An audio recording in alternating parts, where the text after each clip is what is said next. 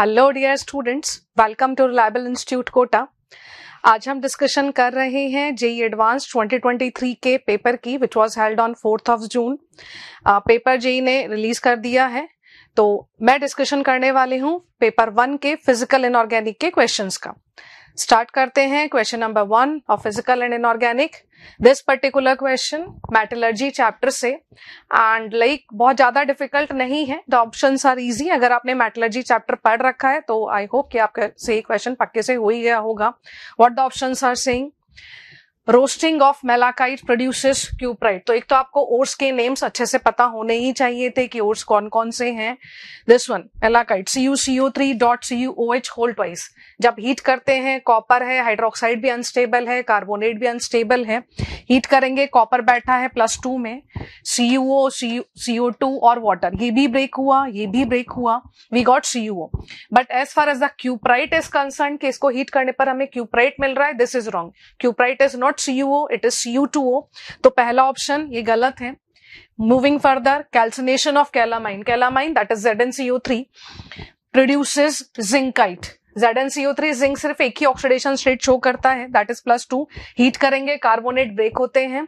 Z N O plus CO two so this is correct option third copper pyrites is heated with silica in reverberatory furnace to remove iron सही बात है copper pyrite C U F S two heat करते हैं reverberatory furnace में, वहाँ पर reaction होती है C U F S two और ओ टू ये दोनों रिएक्ट करते हैं। This one O two oxidise करता है इसको रिवर्बरेटरी फर्नेस रोस्टिंग हो रहा है, पर यहाँ पर बन जाता है C U two S F EO SO two और एफ़ ईओ जो कि रिएक्ट कर जाता है बींग बेसिक इन नेचर इसका, ये गैंग है, ये फ्लक्स है एस आई ओ टू और रिएक्ट करके बना देता है F E S I O three if you remember ये आगे जो सी यू टू एस है इसको भेजा जाता है बेसेमर कन्वर्टर में और वहाँ पर फिर इससे हमें कॉपर मिलता है ब्लिस्टर कॉपर तो यहाँ पर एफ़ e को मेनली रिमूव कर चुके होते हैं। F E O is present as the impurity gangue and S I O two which act as a flux और दोनों मिलकर बना देते हैं F E S I O three so this is correct The impure silver is treated with aqueous KCN in the presence of oxygen,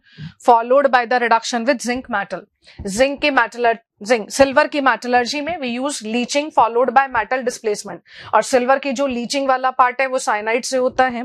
तो silver जब react करता है cyanide O two O two क्या कर रहा है? O two act as an oxidising agent क्योंकि silver cyanide के साथ कॉम्प्लेक्स बनाएगा, पर सिल्वर साइनाइड के साथ कॉम्प्लेक्स एजी प्लस फॉर्म में बनाएगा। तो ऑक्सीजन आके सिल्वर को ऑक्सीडाइज करता है एजी से एजी पॉजिटिव में and that forms complex with cyanide ये सिल्वर जो यहाँ पर है, ये इम्प्योर सिल्वर है कॉम्प्लेक्स बनाया। फ़र्स्ट पार्ट लीचिंग है, जो सिल्वर है, वो डिजोल्व होके चला जाता है इम्प्योरिटीज पीछे रह जाती हैं and then we add a more active metal like zinc वो आके सिल्वर को डिस्प्लेस करता है और खुद कॉम्प्लेक्स बना लेता है। तो जो इसका पहला पार्ट है, वो है लीचिंग जो दूसरा पार्ट है that is metal displacement so impure silver is treated with aqueous KCN ये लीचिंग वाला पार्ट है, और followed by zinc metal that is the metal displacement सही बात है। So the option what we are getting are B C D I can say it was a direct question थोड़े से, थोड़ी सी रिएक्शन इन्वॉल्व थी but it was a direct question from metallurgy next question moving for the next question this is a question of you can say qualitative analysis और you can say something mixed of D block also in the scheme given below X and Y respectively are अब metal halide है, वो ये तीन चीज़ें दिखा रहा है। और ऑप्शन से अगर आप देखें तो तीन ऑप्शन में तो मैग्नीजी बैठा है। एक ऑप्शन में क्रोमियम बैठा है। एज फार एज यहाँ से आपको याद आना चाहिए था कि पीबीओ टू पीबीओ टू एक बहुत स्ट्रॉन्ग ऑक्सीडाइजिंग एजेंट है। आ, अगर आपने याद करा हो तो एम एन प्लस टू को डायरेक्टली भेजता है एमएनओ फोर निगेटिव में। तो यहाँ से दिख रहा था कि एक ऑक्सीडाइजिंग एजेंट है तो जो यहाँ होना चाहिए था उसका फर्दर ऑक्सीडेशन भी होना चाहिए था। अगर आप इसे क्रोमियम अज्यूम करते और क्रोमियम आगे जाता कलर दिस वन कि यहाँ से ऑप्शन में या तो ये होता या तो अगर आप क्रोमियम अज्यूम कर रहे हैं ये blue colouration with K I white precipitate and a filtrate ये जो मेटल हेलाइड है मैग्नीज का होगा या तो क्रोमियम का होगा।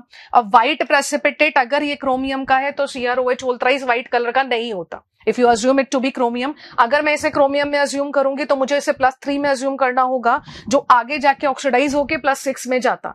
लेकिन अगर मैंने इसे क्रोमियम अज्यूम किया तो जो प्रेसिपिटेट आएगा सीआरओएच होल थ्राइस का, वो ग्रीन कलर का प्रेसिपिटेट होता है वो व्हाइट नहीं होता। तो क्रोमियम ये ऑप्शन तो एलिमिनेट हो गया कि क्रोमियम नहीं हो सकता। मूविंग फर्दर फॉर मैग्नीज अगर हम यहाँ से स्टार्ट करते कि मैग्नीज अगर यहाँ बैठा है, पहले व्हाइट प्रेसिपिटेट बनेगा that should be M N O H whole twice manganese plus four में नहीं हो सकता है, क्योंकि प्लस फोर में वो व्हाइट नहीं होता। मैग्नीज होना चाहिए था मैग्नीज का प्रेसिपिटेट बन जाता M N O H whole का। और जो मैग्नीज प्लस टू है, वो डायरेक्टली ऑक्सीडाइज हो जाता है पीबीओ टू से manganese plus seven MNO four negative बनाने के लिए, जो कि कलर्ड भी होता है एमएनओ फोर नेगेटिव सोल्यूशन में वॉयलेट पर्पल कलर का होता है। एंड दिस वन ये जो क्यू है, ये क्यू का क्यू क्या कर रहा है? ये क्यू यहाँ पर ऑक्सीडाइज हो रहा है? मैग्नीज मैग्नीज कौन से स्टेट में बैठा है? प्लस फोर में। ये भी ऑक्सीडाइजिंग एजेंट है। क्यू को ऑक्सीडाइज कर रहा है। और जो क्यू है, वो ब्लू कलरेशन दे रहा है के आई स्टार्च पेपर के साथ में। तो यहाँ से अगर हम स्टार्ट करें कि दिस शुड बी मैग्नीज या मैग्नीज हेलाइड टू जो कि आगे गया। M N O H whole twice का व्हाइट प्रेसिपिटेट मैं आपको बोल ही रही हूँ कि यहाँ पे मैग्नीज प्लस टू में होना चाहिए था। और अगर ये मैग्नीज प्लस टू में होना चाहिए था व्हाइट प्रेसिपिटेट बनना चाहिए था M N O H whole twice का। फिल्ट्रेट क्यू यहाँ पर फिल्ट्रेट क्यू में आ गया N A C L this one अब अगर आगे चले एमएनओ फोर नेगेटिव सी एक चीज़ तो ये कि क्रोमियम हमारा पहले ही ऑप्ट आउट हो चुका था। एमएनओ फोर टू नेगेटिव हो नहीं सकता क्योंकि यहाँ पर जो एक्स है, ये एसिडिक मीडियम में बैठा है, पानी में बैठा है और MNO four two negative exist करता है स्ट्रांगली बेसिक मीडियम में। तो ये ऑप्शन इसलिए हट गया था क्योंकि MNO four two negative exist नहीं कर सकता। और जो यहाँ पर एक्स है, वो ऑक्सीडाइज प्रोडक्ट है। Oxidise product MN plus two का नहीं होगा। एमएन प्लस टू आगे जाके ऑक्सीडाइज होकर प्रोडक्ट बनाएगा। तो वैसे भी दिस ऑप्शन वॉज़ एलिमिनेटेड ये इसलिए एलिमिनेट हुआ क्योंकि क्रोमियम ग्रीन प्रेसिपिटेट देता है। ये इसलिए एलिमिनेट हुआ क्योंकि यहाँ पर जो बनेगा एक्स ऑब्वियस बात है, वो M N O four two negative नहीं हो सकता। वो स्ट्रांगली बेसिक मीडियम में एग्जिस्ट करता है। ये हट गया। एम एन प्लस टू क्यों नहीं हो सकता? क्योंकि जो एक्स है, वो ऑक्सीडाइज होके प्रोडक्ट बना हुआ है तो ये हट गया। We are left with this option only और अगर आप इसी ऑप्शन के साथ हैं तो स्टार्ट कर देते हैं कि M N C L two हमने लिया एक्वस एनओएच लिया MNOH whole twice white colour का प्रेसिपिटेट है एनएसीएल फिल्ट्रेट में आ गया। एमएनओएच होल ट्वाइस यानी मैग्नीज प्लस टू को ऑक्सीडाइज करता है। पीबीओ टू बहुत स्ट्रॉन्ग ऑक्सीडाइजिंग एजेंट है डायरेक्टली भेजता है एमएनओ फोर नेगेटिव में, जो कि कलर्ड स्पेशेज होगी सोल्यूशन में। और यहाँ पर जो Q that is a filtrate NACL MN plus two MN plus four में जो है ऑक्सीडाइजिंग एजेंट है एसिडिक मीडियम में। ये इसे ऑक्सीडाइज करेगा क्लोरीन बनाएगा और क्लोरीन के को ऑक्सीडाइज करेगा। Will form I two and I two starch के साथ में that gives the blue colouration तो यहाँ से लाइक आपको थोड़ा बहुत ऑप्शन से मैच करना था, थोड़ा आपको कलर पता होना चाहिए था कि क्रोमियम व्हाइट नहीं हो सकता, अगर प्रेसिपिटेट हुआ एमएनओ फोर टू नेगेटिव की प्रॉपर्टी आपको पता होनी चाहिए थी कि वो एसिडिक मीडियम में एग्जिस्ट ही नहीं करता that exist only in the strongly basic medium MNSO four हो नहीं सकता क्योंकि X is the oxidise product तो that can not be MN plus two वो तो ऑक्सीडेशन वाली स्टेट में आगे हायर ऑक्सीडेशन स्टेट में प्रोडक्ट बनेगा. तो we are left with only this option that is MNO four negative and CL two moving further a question of electrochemistry और ये तो डायरेक्ट टाइप ही क्वेश्चन है। This one one upon lambda m versus C lambda m हमें graph बनाना है और उस graph का हमें बताना है स्लोप एंड इंटरसेप्ट तो इसके लिए हमें इसको इस फॉर्म में लेके आना पड़ेगा। जो वीक इलेक्ट्रोलाइट है यू ऑलरेडी नो जब हम एल्फा निकालते हैं वीक इलेक्ट्रोलाइट का that is lambda M C upon lambda M naught one thing and the other thing what we know k equal to c alpha square upon 1 minus alpha. बात सिर्फ़ इतनी थी कि इस अल्फ़ा को यहाँ पे सब्सिट्यूट किया जाए और उसको फिर इस फॉर्म में लाया जाए। Y equal to M X plus C की फॉर्म में। तो चलिए वही देखते हैं कैसे करना है। ये लिखा गया है k equal to C alpha square upon one minus alpha इसमें से इस टर्म को इधर ले जाइए, ये टर्म इधर है। नाउ आपको जो y एक्सिस पे चाहिए you need one upon lambda m अब y एक्सिस पर लाने के लिए वन अपॉन लैमडाइम आपको चाहिए तो व्हाट यू डू यहाँ पे लैमडाइम का स्क्वायर आ रहा है, इसमें से एक लैमडाइम को इधर ले आओ और एक लैमडाइम को यहीं पर रहने दो। तो एक लैमडाइम को जब आप इधर ले आएँगे, इस के को नीचे ले जाइए। इस लैमडाइम को इधर ले आइए तो ये टर्म बनेगी वन ये लैमडाइम जब यहाँ आ जाएगा, वो बन जाएगा वन अपॉन लैमडाइम यहाँ पे लैमडाइम जब डिवाइड होगा लैमडाइम कैंसिल आउट हो जाएगा you will be left with one upon lambda m naught is equal to this term और अब आप यहाँ से सी लैमडाइम इसको दोबारा रीअरेंज कर लो, ये टर्म उधर आके एडअप हो जाएगी। One upon lambda m is equal to one upon lambda m naught C lambda m इसको ले रखा गया है एक्स एक्सिस पे, ये बैठा है वाई एक्सिस पे तो आपके पास में आ गया है स्लोप आपके पास में आ गया है इंटरसेप्ट ये आपके पास आ गया है, इंटरसेप्ट, ये आपके पास आ गई है स्लोप, और आपको पी अपॉन एस का रेशो पूछा था, जो बहुत इजीली निकल जाता। इसमें कुछ नहीं था, सिर्फ़ उनको प्रॉपर अरेंज करना था। ये दोनों तो इन जनरल सारे बच्चों को पता होते ही है। So there was nothing except arrangement and then making that proper form proper form में लाना था। Next question a question of ionic on decreasing the pH from 7 to 2, the solubility of a sparingly soluble salt of a weak acid HX increased from this to this. पहली चीज़ तो pH जब decrease करा तो solubility increase क्यों होती है solubility of a sparingly soluble salt mx जब देता है तो it forms m positive and x negative. x negative reacts with h positive to form hx. अब सिंपल लॉजिक है कि एक्स नेगेटिव रिएक्ट करता जाएगा एच पॉजिटिव से और बनाता जाएगा एच एक्स तो उससे एक्स नेगेटिव आयन की जो कॉन्सेंट्रेशन है वो डिक्रीज हो जाएगी और जैसे जैसे एक्स नेगेटिव आयन की कॉन्सेंट्रेशन डिक्रीज हो जाएगी this equilibrium will move in the forward direction solubility will increase जितना ज़्यादा एच पॉजिटिव आयन की कॉन्सेंट्रेशन होगी पीएच आप डिक्रीज कर रहे हैं मतलब एच पॉजिटिव आयन कॉन्सेंट्रेशन को बढ़ा रहे हो, उससे क्या होगा? एच पॉजिटिव आयन कॉन्सेंट्रेशन जैसे जैसे बढ़ती जाएगी this reaction will have a tendency to move in the forward direction और ज़्यादा फॉरवर्ड में मूव करेगी। जैसे जैसे ये रिएक्शन ज़्यादा फॉरवर्ड में मूव करेगी एक्स नेगेटिव आयन की कॉन्सेंट्रेशन और कम होती जाएगी और ये रिएक्शन और ज़्यादा फॉरवर्ड में मूव करती जाएगी। तो ये तो फैक्चुअल इन्फॉर्मेशन है कि जैसे जैसे हम पीएच को बढ़ाते जाते हैं सॉलिबिलिटी बढ़ती पीएच को कम करते जाते हैं मतलब एच पॉजिटिव आयन की कॉन्सेंट्रेशन को बढ़ाते जाते हैं सॉलिबिलिटी बढ़ती जाती है। अब क्योंकि ये मैथमेटिकल क्वेश्चन था तो इसे बजाय इस तरीके के सॉल्व करने के ये डायरेक्ट फॉर्मूला गिवन है एनसीआरटी में कि अगर आप किसी भी स्पेरिंगली सॉल्युबल सॉल्ट के okay sparingly soluble salt of a weak acid इसकी बात कर रहे हो और किसी एसिडिक सोल्यूशन में जिसका पीएच आपको पता है तो उसमें सॉलिबिलिटी का डायरेक्ट फॉर्मूला था। और क्योंकि ये डायरेक्ट हो रहा है नाउ सॉलिबिलिटी दे रखी है दोनों बार में और दोनों बार में पीएच दे रखी है मतलब दोनों बार एच पॉजिटिव एन की कॉन्सेंट्रेशन दे रखी है तो जब सॉलिबिलिटी को पुट करेंगे एच पॉजिटिव एन को पुट करेंगे, दो अननोन हमारे पास होंगे, एक के और एक के एस पी ये पुट करा दोनों में डिवाइड कर दीजिए वी गॉट दिस और इसको सॉल्व करते ही पी के की वैल्यू आ जाएगी। Approximately ten raise to power minus four इसलिए अप्रोक्सीमेटली क्योंकि ये जब इधर जाएगा one minus ten raise to power minus two है और one minus ten raise to power minus two is almost one इधर जो आएगा ten raise to power minus four minus ten raise to power minus seven so that is 10 raised to power minus 4 and we got pk is k equal to 10 raised to power minus 4 and pk equal to 4 this question is quite easy if you remember this formula, which is given in ncrt ncrt का formula है, और even JEE main में भी एक दो बार उन्होंने इससे related questions पूछे हैं। Next question the stoichiometric reaction of this much gram of dimethyldichlorosilane basically a question which is related with mole concept आ गया है और साथ में मैं कहूँ तो थोड़ी बहुत इनऑर्गेनिक की नॉलेज तो रिक्वायर्ड है ही कि आपको ये प्रोडक्ट यहाँ पर जो बोल रहे हैं डाईमिथाइल डाइक्लोरोसाइलेन क्या करता है ये वाटर के साथ में और जो टेट्रामरिक साइक्लिक प्रोडक्ट बनता है वो क्या है? पहले, बाद में मोल कॉन्सेप्ट आएगा, लेकिन उसके पहले आपको इन्फॉर्मेशन रिक्वायर्ड है कि सिलिकॉन्स कैसे बनते हैं। और सिलिकॉन्स ये कंपाउंड डाइक्लोरो डाइमिथाइल साइलेन, जैसे एल्केन्स होते हैं, वैसे इस सिलिकॉन के जो कंपाउंड है, हम साइलेन बोलते हैं। हाइड्रोलिसिस हुआ तो जैसे एल्केन्स वहाँ पर एल्काइल हेलाइट्स में होता है सीएल हटा ओ एच आया। और अब ये अगर आपने इसके 516 ग्राम ले रखा है, मोलर मास इसका 129 है, इसके मोल आए चार। अगर इसके चार मोल हैं तो जो इनिशियली प्रोडक्ट बनेगा, उसके भी चार होंगे। अब ये जो प्रोडक्ट है, ये टेट्रामर बनाने वाला है। टेट्रामरिक मतलब चार मिलके साइक्लिक प्रोडक्ट बना रहे हैं, वो उन्होंने बोला है। टेट्रामरिक साइक्लिक प्रोडक्ट तो सिलिकॉन्स ये इसी तरीके के कंपाउंड होते हैं। आपने पढ़ा होगा एनसीआरटी में भी सिलिकॉन्स के बारे में भी गिवन है सिलिकेट्स के बारे में भी गिवन है। यहाँ पर ये सिलिकॉन क्योंकि मुझे टेट्रामर बनाना है, इसलिए चारों यूनिट इसके जो चार मोल आएँगे, वो जब ये टेट्रामर बनेगा तो इसका हमें मिलेगा एक मोल थ्योरेटिकली इसके चार मोल से बनना चाहिए था इसका एक मोल, लेकिन क्योंकि ईल्ड कितने परसेंट है? 75 परसेंट है तो हमें वन मोल नहीं मिलेगा। जो एक्चुअल ईल्ड होगी, वो होगी 75 percent of this that is 0.75 mole, और फिर मल्टीप्लाई होगा इसके मोलर मास से to get the mass of this molar mass आप इसका निकाल सकते हैं, लेकिन आपको ये पता होना चाहिए कि इसका स्ट्रक्चर क्या है।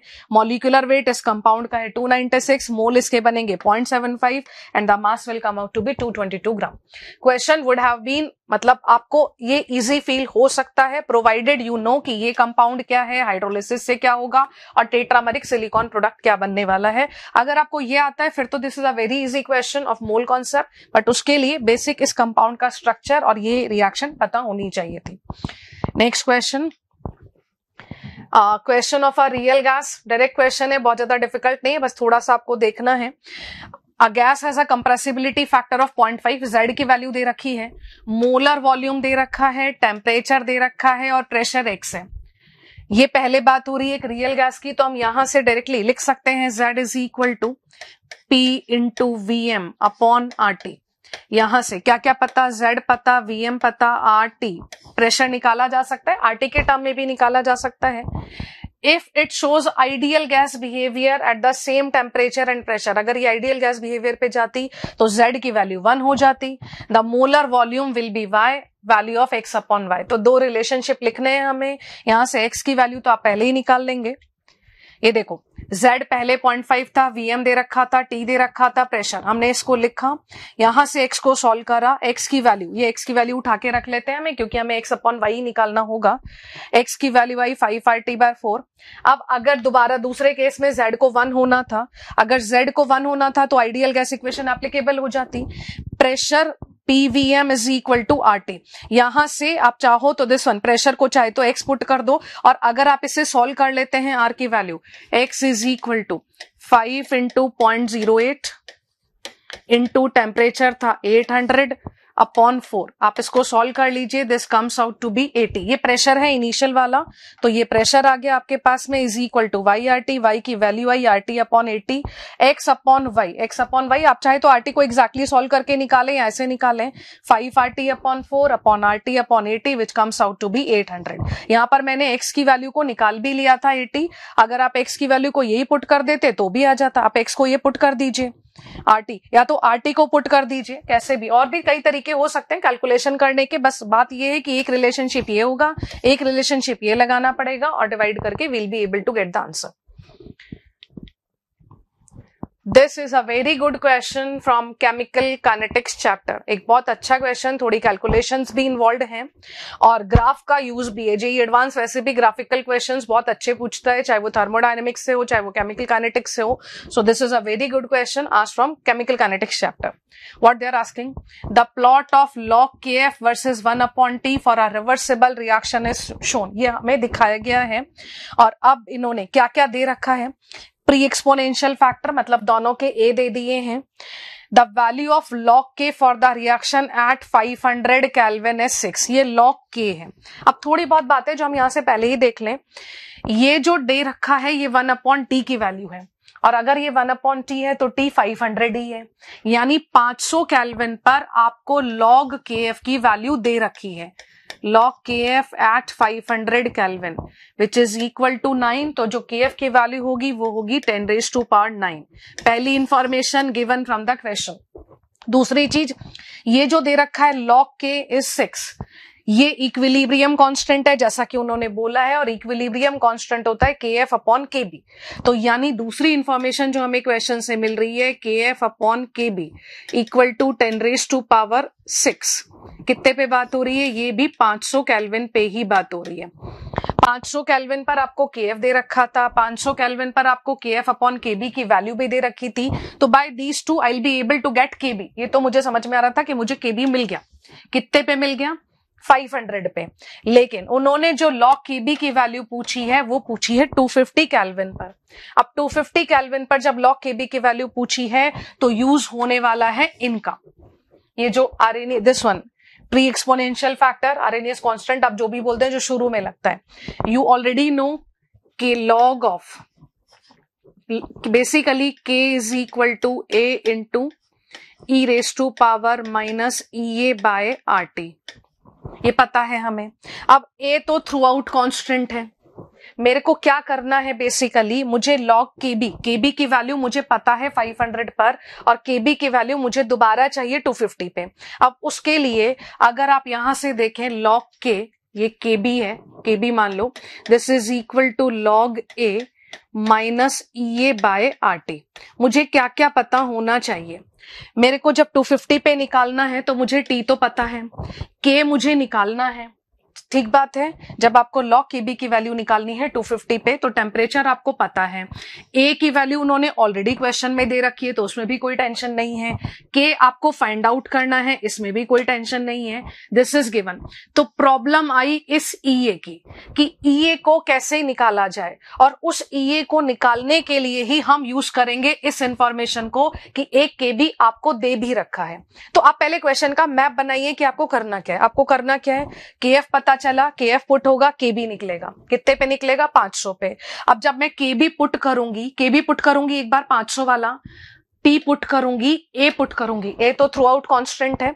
I will be able to get the value of E A E A निकल के आएगा। ये आपको पता होना चाहिए कि ए और ई ए कॉन्स्टेंट होते हैं टेम्परेचर डिपेंडेंट नहीं होते। तो ए हमें ऑलरेडी पता है। 500 वाला डेटा मैं फ़ीड करूँगी so that I can get the value of E A और जब ई e ए निकल के आ जाएगा ए पता होगा ई ए पता होगा टी पता होगा तो again I be able to get K I hope आपको क्वेश्चन का पहले बेसिक मैप समझ में आना चाहिए कि हम करना क्या क्या चाहते हैं। तो स्टार्ट करते हैं सबसे पहले। This one K F upon K B ten raise to power six ये बात हो रही है लॉक के से, लॉक के की वैल्यू सिक्स थी तो K F upon K B ten raise to power six K F is equal to ten raise to power nine ये कहाँ से आया? ये आया है ग्राफ से। वापस चल के देख लो। ये जो नाइन वैल्यू दे रखी है, ये के एफ़ की वैल्यू है। कितने टेम्परेचर पे है? फाइव हंड्रेड कैलविन पर। तो दिस वन के एफ़ की value ten raise to power nine K B की वैल्यू आ गई ten raise to power three ये कहाँ पर आ रही है? This is coming at five hundred kelvin one upon T की value point zero zero two. अब यहाँ आ जाओ के बी को फ़ीड करो। ये लॉग ए बी इलेवन, ये कहाँ से आया है? ये वही वापस क्वेश्चन के इंफॉर्मेशन की Arrhenius constant at and raise to power eleven है, ये बैकवर्ड रिएक्शन के लिए। तो this one log K B K B को पुट कीजिए। ए बी ये इलेवन पुट हो गया। यहाँ से मैं वैल्यू निकाल रही हूँ वन अपॉन टी क्योंकि टेम्परेचर 500 केल्विन पे बात हो रही थी वन अपॉन टी यहाँ से इसकी ही पूरी टर्म की वैल्यू निकाल लेते हैं क्योंकि इस पूरे टर्म को ही हमें दोबारा फ़ीड करना होगा। तो E A upon two point three three R is is equal to this ये टर्म की वैल्यू आ गई है। और जब दोबारा लिखा तो दोबारा इसको लिख दिया अब की बार। वन अपॉन टी टी अब की बार पुट करना है हमें टू फिफ्टी कैलविन इस टर्म की वैल्यू हमारे पास ऑलरेडी आ गई है, four into ten raise to power three ये आपको पहले से दे रखा था ten raise to power log eleven this one तो इन सबको फ़ीड कर दीजिए you will be able to get the value of log K B and you will be able to get क्योंकि ये माइनस फाइव आ रही है तो मॉड हो जाएगा फाइव तो क्वेश्चन लाइक कुछ स्टेप्स इन्वॉल्व थे ग्राफ का यूज़ इन्वॉल्व था then it's like that's why it is a very good question कि आपको बहुत सारी चीज़ें, कुछ चीज़ें आपको ग्राफ से समझनी थी, कि ग्राफ से आपको क्या इन्फॉर्मेशन मिल रही है, कुछ चीज़ें आपको यहाँ से समझनी थी and then you will be able to solve the question acid बहुत डिफ़िकल्ट नहीं था बट स्टिल बहुत अच्छा क्वेश्चन था, बहुत सारी चीज़ें, बहुत सारे कॉन्सेप्ट मिक्सअप होके आ रहे थे। आगे चलते हैं नेक्स्ट क्वेश्चन को करने के लिए। Again a graphical question thermodynamics का। What they are saying one mole of an monoatomic, ideal monoatomic gas undergoes two reversible processes, A to B and B to C. B to C तो directly देखने पे ही लग रहा है क्योंकि temperature है तो ऑब्वियस बात है ये आइसोथर्मल प्रोसेस है। और इन्होंने बताया है A टू B एक एडियाबैटिक प्रोसेस है। ए टू बी इन्होंने बता दिया आइडियाबैटिक है। बी टू सी हमें पता है कि आइसोथर्मल है। If the total heat absorb in the entire process is this the value of two log V three एक तो पक्की बात है कि अगर ये एडियाबेटिक प्रोसेस है तो इसका क्यू तो ज़ीरो है। इसमें तो कोई हीट एब्जॉर्ब रिलीज़ होता ही नहीं है। यानी ये जो दे रखा है R T two L N ten ये हीट एब्जॉर्ब खाली इस प्रोसेस की होगी। अगर इस प्रोसेस की आपको हीट एब्जॉर्ब पता है, ये कैसी प्रोसेस है?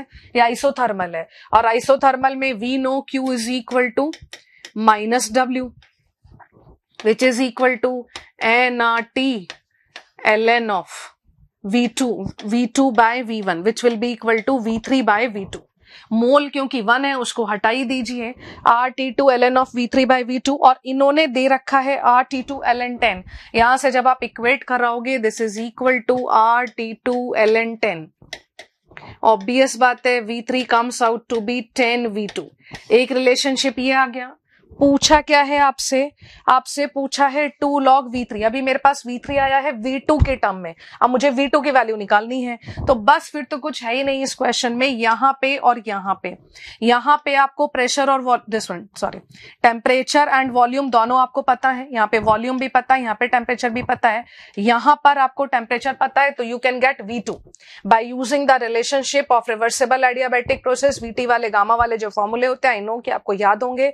उनको हम लगाएँगे, हमें मिलेगा यहाँ से V2 और V2 को यहाँ पुट करूँगी तो मिलेगा मुझे V3 और मुझे वैल्यू निकालनी है टू लॉग V3 तो लॉग ले लीजिएगा and you will be easily able to solve the question ये देखो, करा क्या है? पहले हमने एडियाबेटिक प्रोसेस का लगा दिया T into V raise to power gamma minus one is equal to a constant monoatomic gas बोला है और मोनोएटॉमिक गैस है तो गामा की value you already know that is equal to five by three put कर दो, यहाँ से ये आई वी टू की वैल्यू मैंने बोला ही था अभी V three is equal to ten V two V two को यहाँ पे पुट कर दो ten raise to power seven by two क्या पूछा था वहाँ पे? वहाँ पे पूछा था two log V three V three को पुट कीजिए and you will be easily able to get the answer seven is like uh, I can say this is again a moderate question. बस दो स्टेप में involvement है। अगर एक ही step होता तो इजी की कैटेगरी में चला जाता। पर क्योंकि दो स्टेप है that is why I will say this is a moderate level question next question again a graphical question JEE advance graphical questions बहुत अच्छे बहुत बार पूछ चुके हैं। This one, in a 1 liter flask, 6, 6 mole of A undergoes the reaction A forming B. The, pros, the progress of the product formation at the two temperature T1 and T2 ये दिखा रखा है ये इंफॉर्मेशन दे रखी है और value पूछी है X की नाउ कुछ चीज़ें तो आपको बहुत अच्छे से जो समझ में आनी चाहिए स्टार्ट कर रहे हैं छह मोल से A forming B A forming P reaction है। टेम्परेचर टी वन पे पी के बने चार मोल। तो अगर मैं ये रिएक्शन लिख रही हूँ ए फॉर्मिंग पी इसके स्टार्ट किए छह से।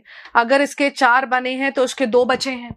तो I can get the K at T one equilibrium constant at T one which is equal to two similarly I can get the equilibrium constant at T two T two पे भी निकल जाएगा, क्योंकि उस टाइम पे इसके इसके बनेंगे दो और इसके बनेंगे दो तो इसके बचेंगे चार.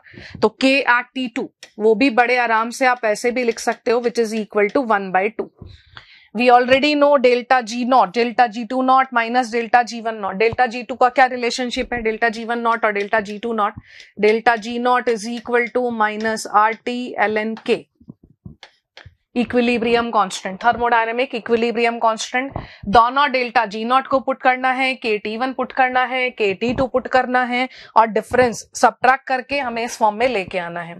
तो बस थोड़ी कैलकुलेशन थी, बाकी काम सिर्फ़ ग्राफ से था ग्राफ से सिर्फ़ इतना काम था कि आप पी के मोल उठाते पी के मोल उठाते, एक ही पता चल जाते इक्विलिब्रियम कॉन्स्टेंट दोनों टेम्परेचर पे पता चल जाता।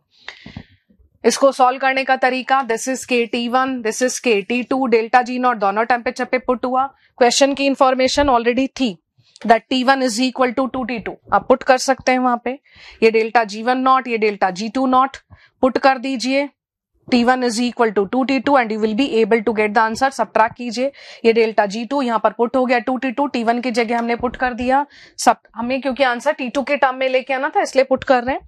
यहाँ से इसमें से इसको सब ट्रैक करा दिस वन और इस थ्री को ऊपर पावर में ले जाइए। L N two raise to power three L N eight और कंपेयर करवा दीजिए तो एक्स की वैल्यू आ जाएगी एट सो अगेन जो बेसिकली ग्राफ के क्वेश्चंस होते हैं, उससे सबसे इंपॉर्टेंट चीज़ है कि आप ग्राफ से कितनी इंफॉर्मेशन को ले सकते हैं। तो पहले ग्राफ से इंफॉर्मेशन को लिया कि ये चार है, ये दो है, ये छह है, और अगर आपको इतना समझ में आ रहा था कि ग्राफ की इंफॉर्मेशन क्या कह रही है then again there is nothing except calculation part moving further this is direct NCERT reactions from P block phosphorus की डायरेक्ट सारी रिएक्शंस एनसीआरटी वाली हैं। अगर आपने पढ़ा हो तो। और ये आई विल uh, जो भी बच्चे ने एनसीआरटी पढ़ा होगा पी ब्लॉक पढ़ा होगा ग्रुप नंबर 15 उससे तो ये सारे क्वेश्चन बहुत इजीली होने चाहिए। इवन रिएक्शन को बैलेंस करके भी दे रखा है कोई टेंशन नहीं है। P two O three hydrolysis होगा फॉस्फोरस प्लस थ्री में है तो जो प्रोडक्ट बनेगा वो भी प्लस थ्री का ही बनेगा ऑक्सी एसिड तो it has to be H three P U three P has to go with two P has to go with two तो ऑप्शन बच जाता है. ए और डी ये तो पर्टिकुलर रिएक्शन है. फॉस्फोरस डिस्प्रपोर्शनेट होता है. एनएच के साथ में फॉर्मिंग NaH2PO2 एंड PH3 तो अगर इसको बनाना है NaH2PO2 एंड PH3 यहाँ पर.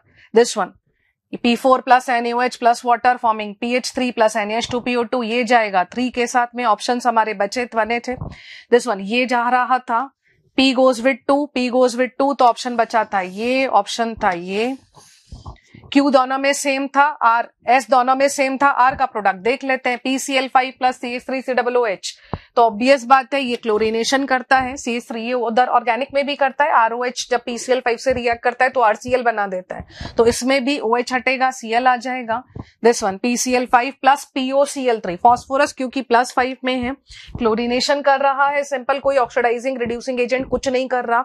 तो ऑब्वियस बात है it has to be POCl three तो दिस वन इससे आपका आंसर आ जाएगा आर का आंसर फोर ये and option comes out to be D ये I will make this as a like I will say this is an easy question अगर आपने इनऑर्गेनिक थोड़ी भी पढ़ी है P block from NCERT only then you should be able to solve the question this one a question from coordination compound ये भी बहुत difficult नहीं है, खाली कॉन्फ़िगरेशन लिख के मैच करवाना है उसको. Choose the electronic configuration start करके देख लेते हैं. दिस वन अगर आप यहाँ से देखें आयरन, कौन से स्टेट में बैठा है? प्लस टू में। आयरन प्लस टू, कॉन्फ़िगरेशन है थ्री डी सिक्स। और थ्री डी सिक्स अगर इसका कॉन्फ़िगरेशन है, वाटर डब्ल्यू एफ़ एल है, पेयरिंग होनी नहीं है। और अगर आप थ्री डी सिक्स को लिखोगे तो पहले नीचे भरोगे। This one three D six, ये। तो टी टू जी में चार आएँगे ई e जी में दो आएँगे। टी टू जी में चार ई e जी में दो एस गोज विथ वन अगर एस गोज विथ वन है तो ऑप्शन बच गए ये दोनों। अब इसमें आप खाली, अगर आपको ये पता चल गया कि S has to go with one S one के साथ जाएगा और उसमें से ये दोनों बचे हैं तो ये दोनों तो सेम है। आप इनको चेक ही मत करो। आप आर के लिए चेक करो कि आर कहाँ जाने वाला है। दिस वन कितने इलेक्ट्रॉन है? पाँच। अब पाँच चेक करो कि किसमें आने वाले हैं। पाँच यहाँ पर मैग्नीस प्लस टू अगर आप यहाँ देखें तो R goes with five sorry this one ये वाला। ये जो ऑप्शन है, ये किसके साथ जाने वाला है? ई e टू पहले तो पहली बात तो ई टू फिल हो रहा है और टी बाद में फिल हो रहा है। ई e पहले और टी बाद में मतलब दो नीचे और तीन ऊपर। और ये तो पक्की बात है कि टेट्राहेड्रल में ही होता है ऐसा कि दो नीचे, तीन ऊपर, जब टेट्राहेड्रल की स्प्लिटिंग होती है, अब टेट्राहेड्रल की स्प्लिटिंग या तो इसमें आएगी या तो इसमें आएगी। अब इसमें आयरन, कौन से स्टेट में आ रहा है?